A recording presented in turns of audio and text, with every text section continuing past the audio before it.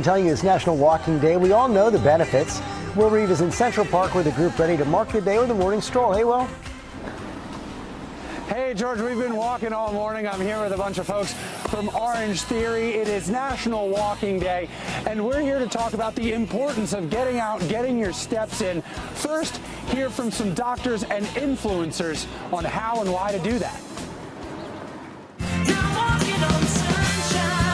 It's a step in the right direction. Walking is one of the easiest things we can do to improve our health. That's why cardiologist Dr. David Sabgir started the organization Walk with a Doc. With over 500 chapters around the world, hosting free public walks led by doctors, helping participants take the first step toward over 100 health benefits. There's reduction in heart attack, stroke, heart failure by 50%. It'll reduce the risk of 13 different cancers. It is incredible at treating anxiety and depression that really gets the job done. And if walking inside is more your speed, why not turn your treadmill into a runway? What you looking for? We got what you looking for. Allie Bennett going viral for creating the hashtag treadmill strut workout on TikTok. The videos watched by millions. It's really important for me to be able to make movement accessible and easy and fun for everyone to make it less intimidating.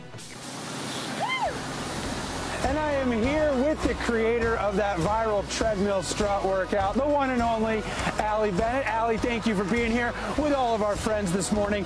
And walking is so important, but you make it really fun. And how exactly can you do that? How can other people do that at home? I think finding whatever motivates you the most. You know, I like the treadmill because I can, you know, strut whenever I want to my favorite songs. But I think, you know, a new pair of shoes that you want to wear or taking your dog for a walk, something like that. Whatever's yeah. going to get you up and moving is obviously the best choice. So many of us live sedentary lives. We're sitting at a desk. We're not moving around as much as we should, not getting nearly those recommended 10,000 steps. How can people incorporate walking into their daily lives in ways that work for them? I think, you know, anytime, anywhere is the best time to get up and get moving. Walking is so easy. You just need, you know, two functional legs. It's so simple that you can incorporate it whenever you want. You can run errands by foot. You can, you know, do whatever you want yeah. and walk whenever you want around the office, around your house. It's so versatile and just so fun. And you can make it fun with music and things like that, yeah? Exactly, yeah. You can find your favorite song, just strut to, strut to the beat. That just gives me so much confidence to, you know, keep going with my workout. All right, we're strutting to the beat. We're strutting so much we're going to end up back in Times Square. You guys having a good time walking?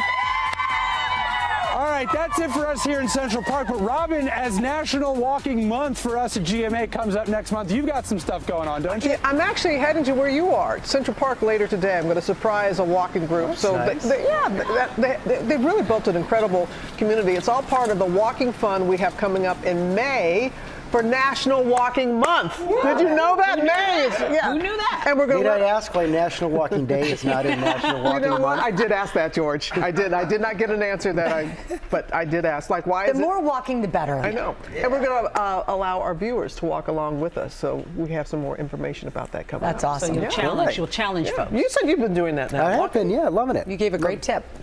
Listen to a book while you walk. You'll go further. Love it. Thank you, great. George.